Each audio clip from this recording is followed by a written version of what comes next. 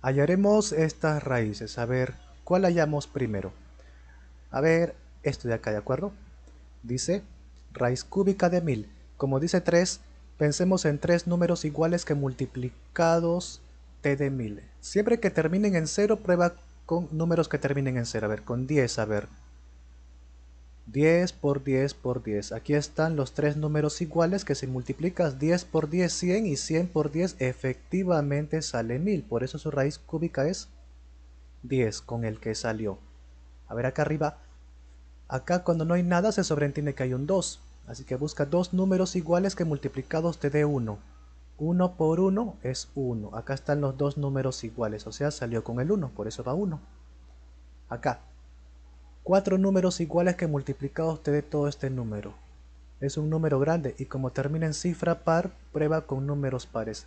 En cualquier caso, raíz cúbica, raíz cuadrada, etc. Cuando termina en cifra par, prueba con números pares. Por ejemplo, podrías probar con un número grande, a ver, con 12, a ver. Lo vas a multiplicar cuatro veces, porque acá dice 4. 12 por 12, 144 acá también. Ahora 144 por 144 es 20.736. Ah, acá era 104.000. Falta bastante, ¿verdad? Listo. Entonces, si falta, tenemos que aumentar. A ver, ¿qué número?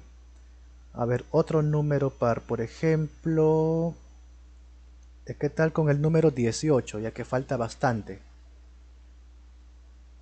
18 por 18 por 18 y por 18, así con número par.